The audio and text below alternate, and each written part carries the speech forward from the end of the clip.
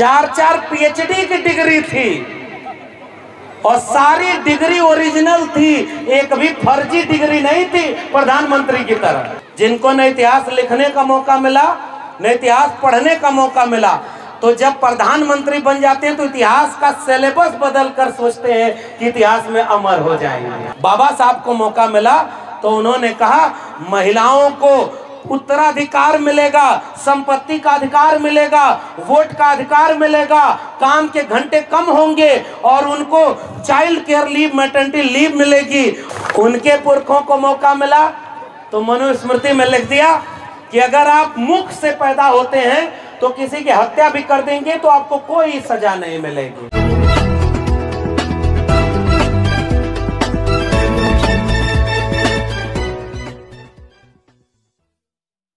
कि इस दुनिया में करोड़ों लोग पैदा हुए और होते रहे इंसान बन के।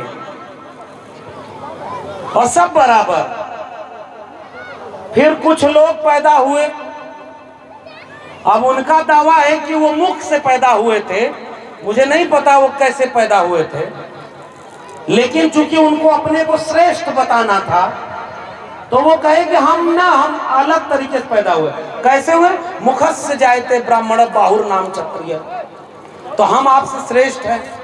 और उससे ऊपर श्रेष्ठ क्या बताया? कि हम इस धरती पर उसके अवतार हैं। तो उन्होंने जातियाँ बना दी। तो पहले जो लोग पैदा होते थे, सब इंसान होते थे। फिर जब जाति बन गई तो उस जाति में बटकर कुछ लोग इंसान से भी ऊपर हो गए। और ढेर सारे लोगों को जातियों में नीचे रखकर इंसान से भी बदतर बना दिया गया। फिर इस देश में बिरसा, फूले, अंबेडकर पेरियार जैसे लोग पैदा हुए, जिन्होंने वापस इंसान को इंसान से बराबर बनाने के लिए भारत का संविधान बना दिया। और अब कोई इंसान बड़ा, कोई छोटा नहीं, सब व्यक्ति का एक वोट एक व्यक्ति और एक वोट की एक कीमत। और इसलिए दुनिया में बहुत लोगों की जयंती मनाई जाती होगी। लेकिन करोड़ों करोड़ लोग दुनिया भर में महीनों तक जितना बाबा साहब की जयंती मनाते हैं, ऐसा दुनिया में दूसरा कोई मौजूद नहीं है जिसकी जयंती इतनी शान शौकत से मनाई जाती है।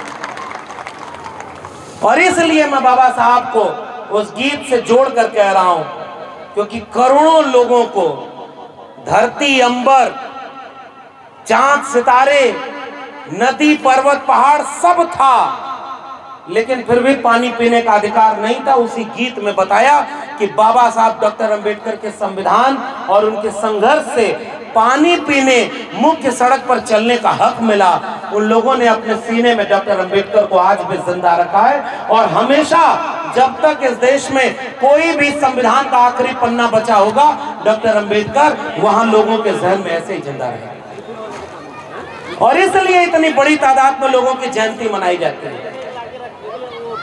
तो उस जयंती की आप सबको बधाई। महात्मा ज्योतिराव फूले, जिसकी साझा जयंती आप मना रहे हैं।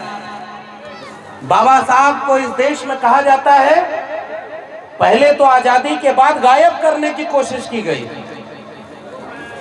अब गायब नहीं कर पाए तो बाबा साहब को कहा कि ये केवल दलितों के नेता हैं। कुछ कुछ होता है ना? सिलेबस से गायब कर दो तो लोग अंबेडकर को भूल जाएँगे। डॉक्टर अंबेडकर की किताब छपी 1980 में, और भारत का संविधान लागू हो गया था 1950 में। बाबा साहब को भारत रत्न मिला 1990 में। तो बहुत सारे लोगों को यह भ्रम था कि जब बाबा साहब की किताब नहीं छापेंगे तो लोग बाबा साहब को भूल जाएँगे। लेकिन वो गाँव के लोगों, आपको पता होगा कुछ बीज ऐसे होते हैं ना उनकी ताकत इतनी होती है कि किसी बंजर ज़मीन में भी दाग दो वो धरती फोड़ करके लहलाते हुए खड़े हो जाते हैं और अपना छाया अपना फल मानवता को अपने आप बांटते रहते हैं। डॉक्टर अंबेडकर ऐसे शख्स का नाम है। बाबा साहब अमर रहे। और इसलिए मैं कह रहा हूँ डॉक्टर अंबेडकर क्यों अमर हैं? डॉक्टर अंबेडकर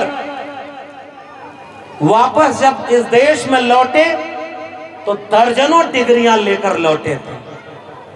चार चार पीएचडी की डिग्री थी और सारी डिग्री ओरिजिनल थी, एक भी फर्जी डिग्री नहीं थी प्रधानमंत्री की तरह। सारी ओरिजिनल डिग्री थी। इतनी डिग्री हासिल की, जिन्हें स्कूल से बाहर निकाल दिया कि पढ़ नहीं सकते उसने जब हाथ में कलम कायदे से पकड़ी तो सारी ओरिजिनल डिग्रियाँ हासिल की। फिर भी जब इस देश में लौटे तो अधिकारी बनने के बाद भी चपरासी फ़ाइल फेंक कर देता था। पीने का पानी ढंग से नहीं दिया। तो डिग्री कीमत से हो, अगर कीमती होती तो बाबा साहब के साथ अपमान नहीं होता। और पिछले दिनों अभी राजेंद्र पाल गौतम साहब बैठे हुए हैं।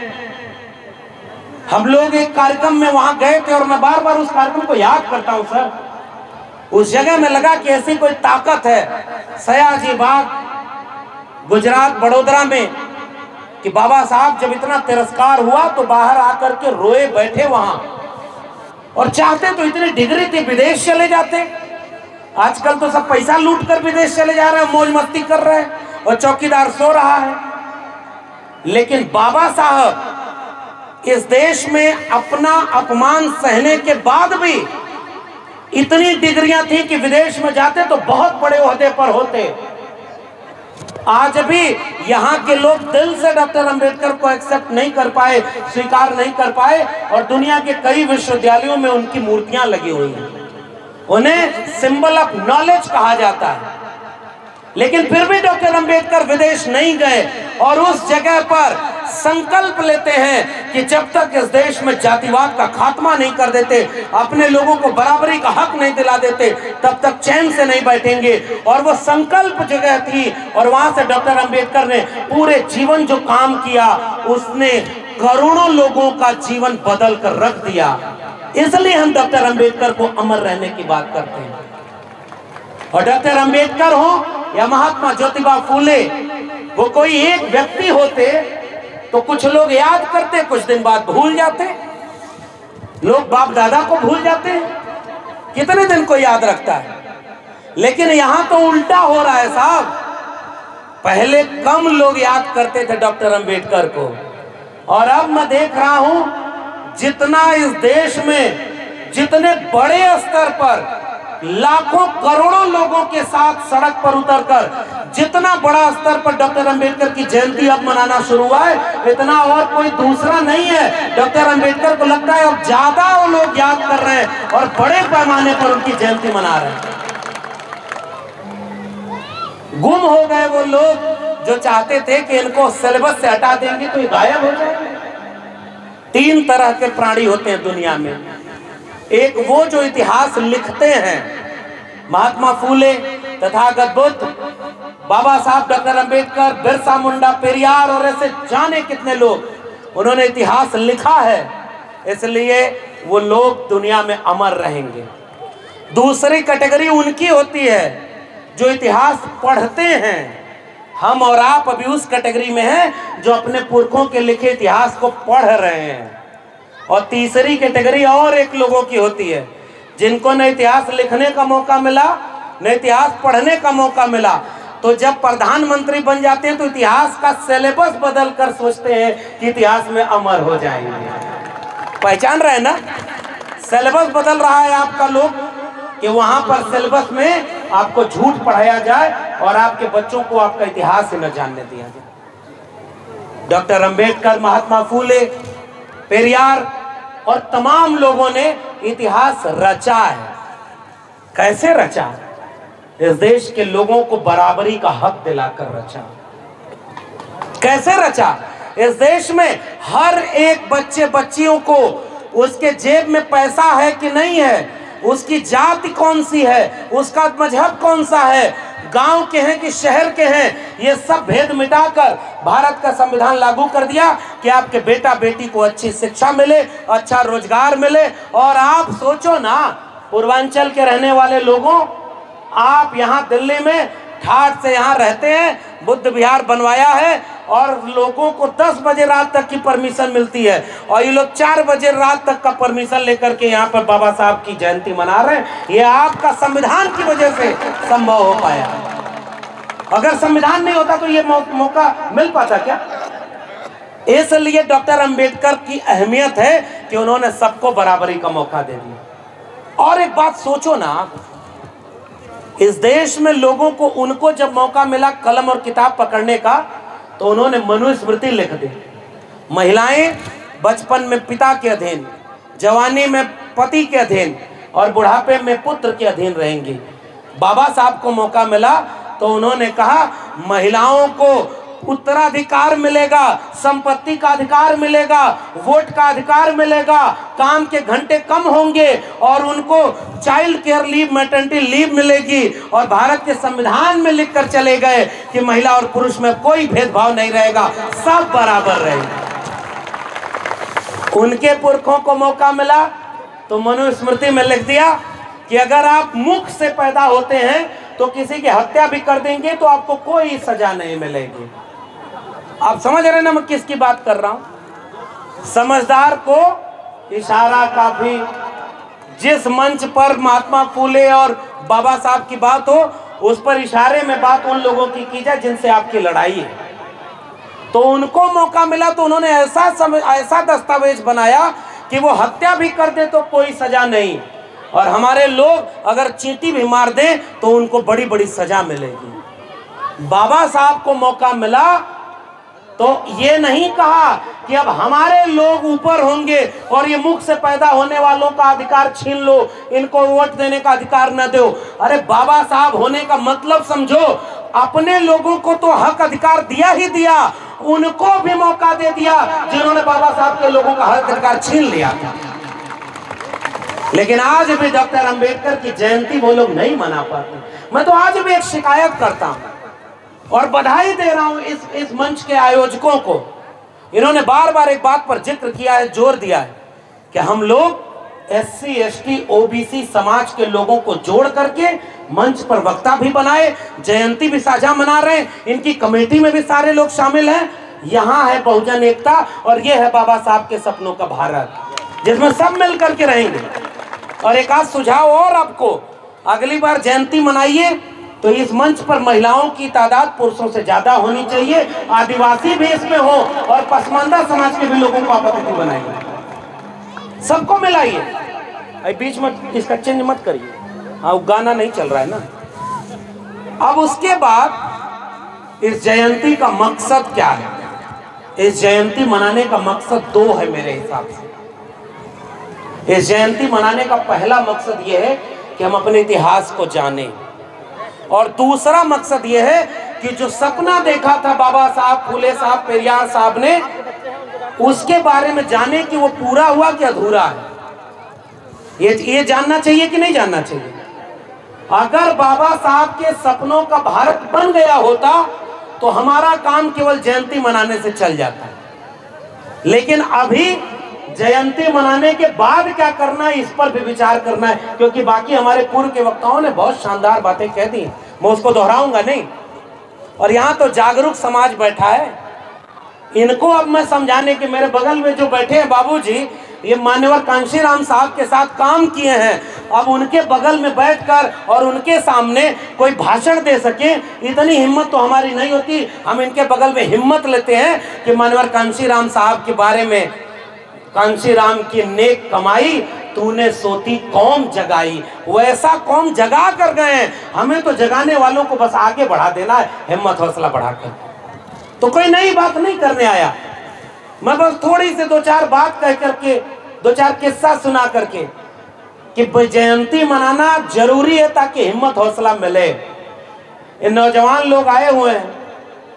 बुज़ुर्ग लोगों के साथ खड़े होकर महिलाएँ और बच्चे बच्चियाँ आए हुए हैं।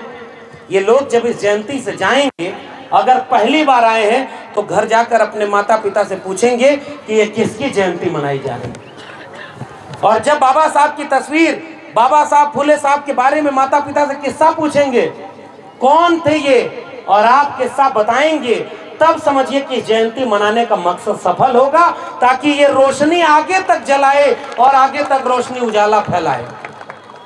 और बाबा साहब कैसा सपनों का भारत बनाते थे जिसमें सबको शिक्षा मिले, जिसमें सबको सबका अधिकार मिले, कर्मकांड अंधविश्वास खत्म हो, और सब लोग मोहब्बत प्रेम से रहें। सब लोग प्रेम से रहें, कोई किसी से नफरत न करे।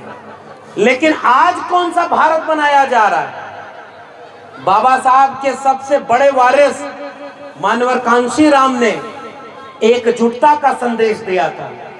मंडल कमीशन लागू करो, वरना कुर्सी खाली करो। मानवर कांशीराम पचासी फ़ीसदी बहुजन की बात करते थे, जिसमें S C S T OBC, minority सारे लोग थे। इसलिए मैं इस मंच से ये बात कह रहा हूँ कि डॉक्टर अंबेडकर को ओबीसी घरों में भी अब ले जाने की ज़रूरत है। आदिवासी और जा रहे हैं, ऐसा नहीं कि नहीं जा रहे। खूब अच्छे से जा रहे हैं। थोड़ा समय लगेगा। वो कहते ना, हम लोग बचपन में किस्सा सुनते थे, करत करत अभ्यास थे जड़मति होत सुजान, और रसरी आवत जात थे सिल पर परत निशान। हमें अभ्यास करना है, हमें अपने लोगों को समझाना है। जिस दिन हम ओबीसी समाज के लोगों को ये बात समझाएँगे कि डॉक्टर अंबेडकर ने मंत्रिमंडल से इस्तीफा दिया तो तीन बातों में से पहली बात हिंदू कोड बिल, उसका लागू न किया जाना और दूसरी बात थी ओबीसी के लिए अनुच्छेद 340 में जो कमीशन बनाना था, ताकि ओबीसी की गिनती हो और उनको गिनती के आधार पर आरक्षण मिले, प्रतिनिधित्व मिले, हिस्सेदारी मिले, वो न काम हुआ। इसलिए डॉक्टर अंबेडकर ने कैबिनेट से इस्तीफा दे दिया। ये बात जब तक ओबीसी के घर घर बताएँगे, दोनों बाहें खोल करके ओबीसी एक दिन ऐसा आएगा, डॉक्टर अंबेडकर को अपना मानना शुरू कर देंगे। अभी हमें ये बात उन लोगों तक ले जानी डॉक्टर अंबेडकर को। आजकल कुछ लोग कहते हैं ना कि उनका धर्म खतरे में है। जागो तुम ओबीसी लोगों, दलित लोगों, आदिवासी लोगों, हिंदू हो। एक शख्स का नाम ले रहा हूँ और उसके बारे में जब मैंने पढ़ा तो देखा कि इतिहास क्या है। शिवदयाल सिंह चौरसिया। शिवदयाल सिंह चौरसिया ने आदि हिंदू सभा बनाई और जब कुछ मुखद से जाए थे ब्राह्मण उनके पास गए उन्होंने कहा कि मैंने आज हिंदू सभा बनाई, इसकी सदस्यता अभी ले लीजिए। तो उन्होंने कहा कि हम हिंदू थोड़े ही हैं, हम तो आर्य हैं। शिवदयाल सिंह चौरसिया ने कहा कि अब तक तो समझते थे कि तुम भी हिंदू, हम भी हिंदू, लेकिन जब तुम आर्य कह रहे हो अपने को तो जाओ आज से हम भी हिंदू नहीं। उन्होंने backward classes league depress classes league वैसा ऑर्गेनाइजेशन बनाया। पेरियार ललित सिंह यादव, चंद्रिका प्रसाद जिज्ञासु और शिवदयाल सिंह चौरसिया, इन इन सारे लोगों ने मिलकर 1948 में लखनऊ में एक अधिवेशन किया पिछड़ा वर्ग सम्मेलन का, और उसकी अध्यक्षता करने के लिए किसे बुलाया? बाबा साहब डॉक्टर भीमराव अंबेडकर को यह है बहुजन एकता जो हमारे पुरखे बना के गए भाई। हमें तो वो इतिहास लोगों को बताना। और बाबा साहब डॉक्टर अंबेडकर ने उस जगह पर ओबीसी समाज के लिए एक बात कही थी, जो उनके वारिस मानवर कांशी राम ने एक ही किताब लिखी अपने जीवन में। उन्होंने कहा कि बाबा साहब ने किताबें बहुत पर्याप्त लिख दी, हमारे पुरखे लिख दिए हैं। अब मुझे लोगों को जोड़ना है। लेकिन फिर भी एक किताब लिखी, उसका नाम बताओ आप लोग, क्या लिखा था मानवर कांशीराम ने? चमचा युग।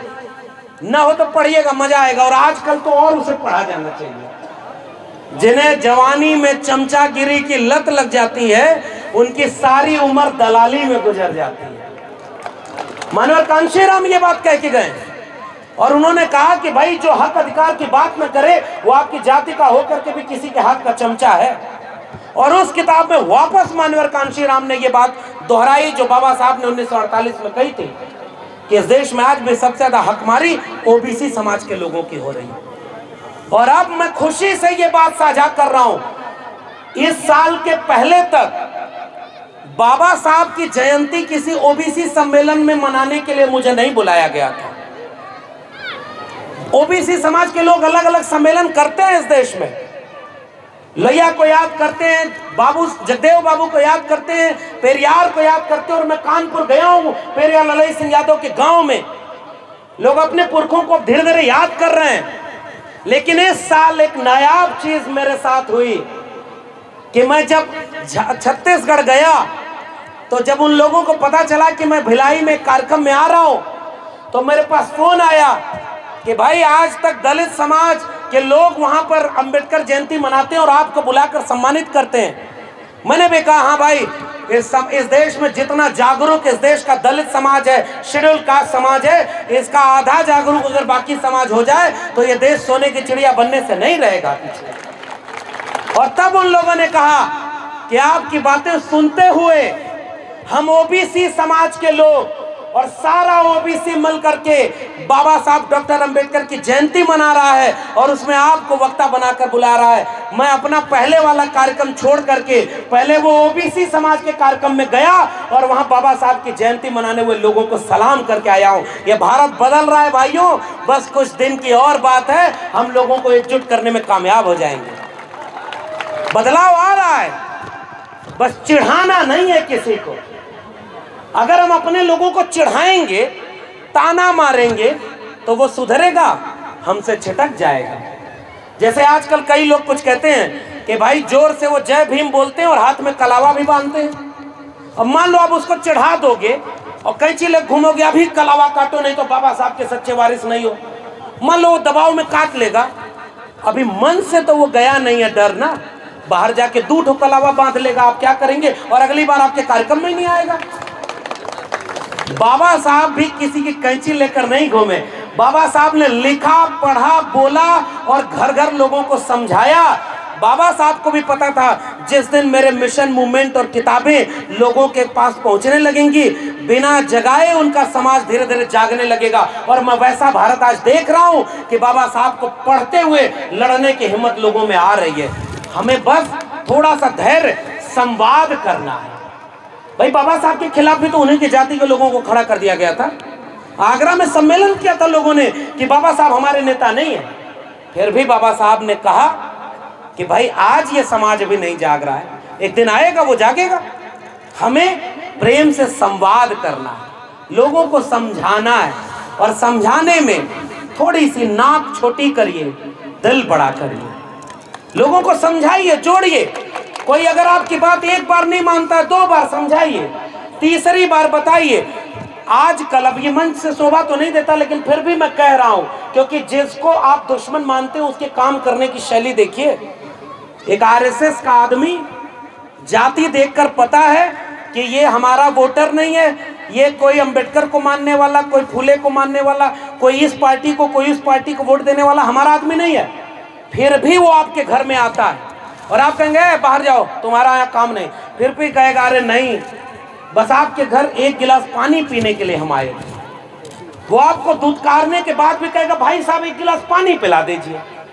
और ऐसा मीठा जहर घोलेगा कि अगली बार आपको पानी पिलाने किसी और तालाब के किनारे लेके चला जाएगा। बताओ, आप इस समय S C S T OBC का वोट अगर नहीं मिलता तो ये इतनी बड़ी ताकत में ये सरकारें बैठी होती क्या? इसका मतलब कुछ तो भटकाया जा रहा है ना हमें?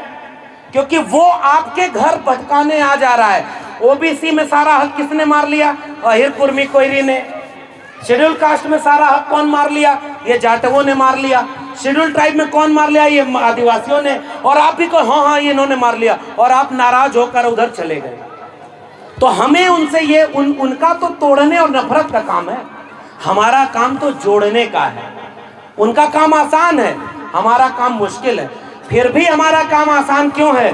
क्योंकि हमारी आबादी इतनी है कि बताओ अगर इस देश में 90 परसेंट लोगों में से 45 परसेंट लोग भी जागरूक हो जाएँ तो इस देश की सबसे बड़ी कुर्सी पर कौन बैठेगा? जिसे आप तय करेंगे। क्योंकि 31 परसेंट वोट पा करके तो लोग प्रधानमंत्री बने बैठे हैं। और प्रधानमंत्री बने बैठे हैं, दिल में गोट से गोलवलकर हेडगवार और 14 अप्रैल को बाबा साहब की मूर्ति पर माला पहना रहे हैं, वो भी जो दिल में गोट से गोलवल को हेडगवार को लगते हैं। और दोनों हाथ फैलाकर बोलते हैं, अभी सर मैं देख रहा था 21 अप्रैल को इस देश के प्रधानमंत्री ने अपने ट्विटर हैंडल पर लिखा और भाषण दिया। इस देश के प्रधानमंत्री ने भाषण दिया कि दुनिया में कोई भी समस्या ऐसी नहीं है, जिसका जवाब गौतम बुद्ध दे के न गए हो। बड़ा खुशी हुई मुझे भी। उन्होंने कहा कि दुनिया को इंसानियत का पाठ अगर किसी ने पढ़ाया तो उनका नाम था तथागत गौतम बुद्ध।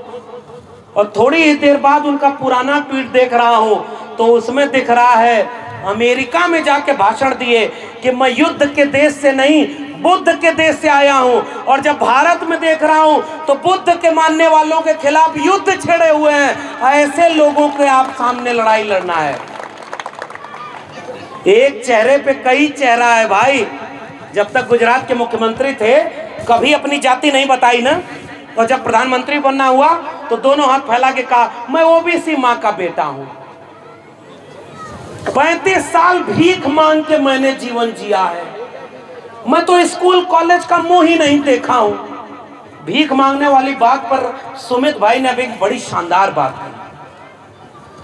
उनके लोग भीख मांगने को भी गौरवान्वित करने वाली बात कहते हैं। और हमारे लोग सबसे महत्वपूर्ण बात क्या कहते हैं?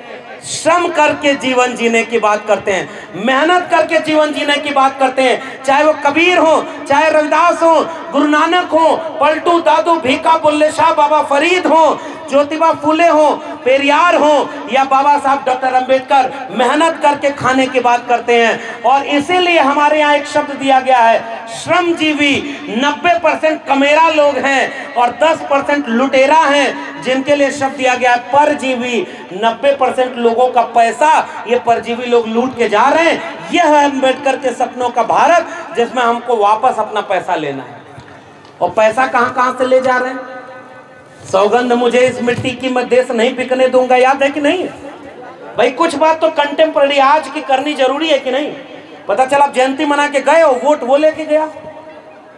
वो बेच रहे हैं भारत को, मैं चैन से कैसे सो जाऊँ? सौगंध, मुझे इस मिट्टी की मैं देश नहीं बिकने दूँगा, समझ गए ना? मैं रेल में चाय बेचा हूँ। चाय बेचते उसे किसी ने नहीं देखा। रेल बेचते हुए पूरा देश देख रहा है, फिर भी उसके भक्त कहते हैं कि कहाँ कुछ बेच रहा है? रेल बेच गया रेलवे में आज भी सबसे ज़्यादा कर्मचारी आपके समाज के, हमारे समाज के थे रेलवे क्यों सबसे पहले बेची गई इसके षडयंत्र को समझिए?